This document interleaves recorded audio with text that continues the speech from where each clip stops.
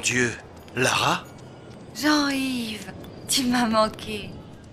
J'imagine que tu n'es pas là pour le plaisir. Je crains que Von Croy ne vienne nous le gâcher. Von Croy Je pense qu'il cherche ça. L'amulette d'Horus. Incroyable. Le talisman légendaire. Ainsi, tu as trouvé et ouvert le tombeau de Seth. Hmm, c'est plutôt de mauvais augure. Je traduis de l'hébreu.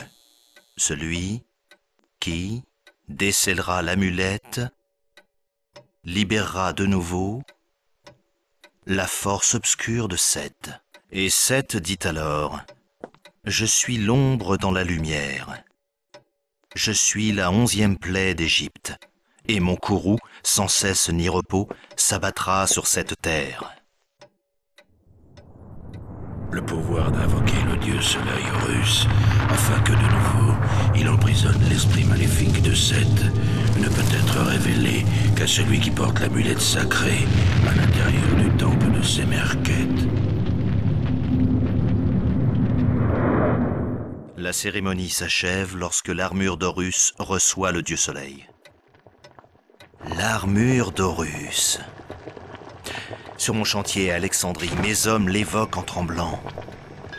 Je suis certaine que Von Croy est à sa recherche. Il n'y a qu'un ignare qui peut oser se frotter à une telle malédiction. Ah, oui, la libération de Seth. Tu ne pouvais pas savoir, très cher. Je dois remettre les choses en ordre et en profiter pour me retirer cette épine du pied.